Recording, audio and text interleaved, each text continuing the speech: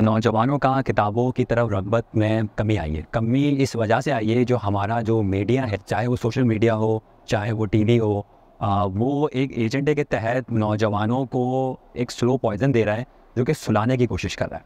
अगर नौजवान बेदारी की तरफ़ जाते हैं जस्तजू की तरफ़ जाते हैं तो वो यकीनन व यकीनन किताबों की तरफ़ जाते हैं। मेरे पास जब सोशल मीडिया पे तीन मिनट के वीडियो के अंदर सब कुछ बता दिया जाता है तो मैं क्यों बुक को बोलूँ और उसके अंदर सौ पेज को पढ़ूँ वो बात तो मुझे अब कोई भी अच्छे से यूट्यूबर दस मिनट में बता देता है आठ मिनट में बता देता है तो किताबों के अंदर क्या है देखिए, बहुत ही बहुत अच्छा सवाल है सबसे पहले तो आपका किताबों की तरफ़ क्यों है क्योंकि हम वीडियो क्यों ना देखें? बेहतरीन है, अगर आपको, देखिए, मकसद है नॉलेज हासिल करना, इल्म हासिल करना। अगर आप ये समझ रहे हैं कि मुझे इल्म, मुझे नॉलेज उस पर्टिकुलर वीडियो से मिल रही है विदाउट एनी डिस्ट्रैक्शन तो वो बेहतरीन है। मुझे एक बात बताएँ, किसी भी मौजू के ऊपर, कोई भी अगर कोई वीडियो क्योंकि आप भी वीडियो बनाते हैं हमारा जो टाइम स्पेंड है फोर्टी फाइव सेकंड से ज़्यादा का नहीं है। हम फोर्टी फाइव सेकंड के अंदर अगर हमें मज़ा नहीं आ रहा तो हम छोड़ के चले जाते हैं। क्या आपको लगता है कि वो तीन मिनट के अंदर वो पूरा का पूरा मौजू कवर कर सकता है? उस मौजू कवर नहीं होता है वो डॉक्यूमेंट्रीज आती है। डॉक्यूमेंट्री भी मौजू को पूरा कवर नहीं करती। वो सिर्फ़ और सिर्फ़ उन टच पॉइंट को कवर करती है कि इंटरेस्ट है। किताब इसके ऊपर बेस नहीं करती। किताब ये नहीं कहती कि आपको इंटरेस्ट है या नहीं। किताब एक मौजू होता है, जो कि मुकम्मल किया जाता है।